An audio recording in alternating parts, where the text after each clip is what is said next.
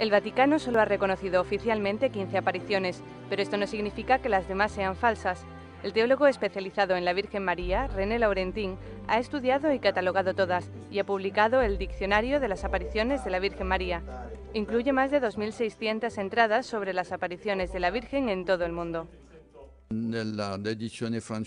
La edición francesa tiene 2.400 apariciones.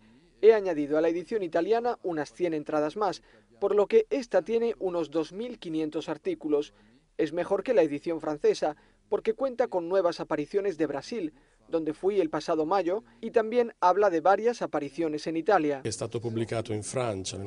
El diccionario original se publicó en francés en el año 2007.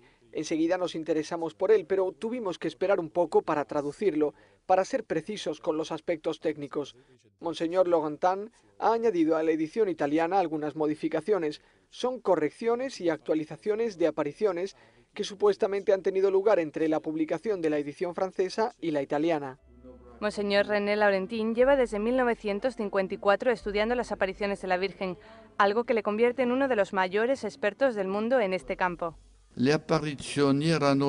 Por aquel entonces las apariciones eran simplemente objeto de piedad, no de teología.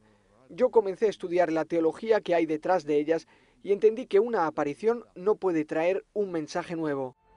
El autor asegura que la Virgen se aparece para recordar a nuestros oídos sordos la urgencia del mensaje de Cristo, algo que según dice ocurrió de manera especial en Lourdes. No, tengo ninguna aparición preferida porque siempre es la Virgen, pero lo que ocurrió con Bernadette en Lourdes fue muy puro, muy sencillo. Un manual imprescindible para curiosos, devotos y estudiosos de las apariciones de la Virgen en los cinco continentes.